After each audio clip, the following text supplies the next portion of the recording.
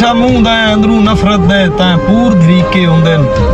ਕਦਾ ਡਾਰ ਮੁਨਾਫਿਕ ਲੋਕਾਂ ਦੇ ਸਿੱਧੇ ਲੇਖ ਦੇ ਲੀਕੇ ਹੁੰਦੇ ਨੇ। ਸਾਈ ਕਿਸੇ ਨਾਲ ਅਲਾਵਾ ਪਾਲਣ ਦੇ ਕੁਝ ਹੋਰ ਤਰੀਕੇ ਹੁੰਦੇ ਨੇ। ਭਾਵੇਂ ਟੱਕਰ ਤੇ ਲੱਗਦਾ ਬਾਣ ਬਾਨਾ ਇੰਜ ਕਦਣ ਸ਼ਰੀਕੇ ਹੁੰਦੇ ਨੇ।